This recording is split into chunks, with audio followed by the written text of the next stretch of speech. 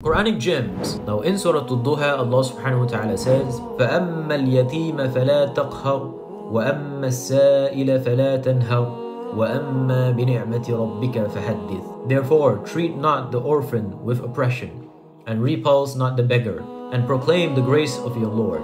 Here Allah subhanahu wa ta'ala is telling us not to mistreat the orphans, the one oppressed, and the beggars. And the verse ends with proclaiming the grace of Allah subhanahu wa ta'ala. فَحَدِّث Now if you look at the endings of the verses, it ends with the ra except for فَحَدِّث تَقْهَرْ تَنْهَرْ فَحَدِّث This is abnormal when it comes to the endings of the verse. A more appropriate ending will be فَأَمَّا الْيَتِيمَ فَلَا تَقْهَرْ وَأَمَّا السَّائِلَ فَلَا تَنْهَرْ وَأَمَّا بِنِعْمَةِ رَبِّكَ فَخَبِّرْ but why did Allah subhanahu wa ta'ala choose the word fahaddith? Now interestingly, the word khabar can refer to something that is true or false. But the word fahaddith only refers to something that is true. And the verse talks about people who proclaim the word of Allah subhanahu wa ta'ala, which is always true.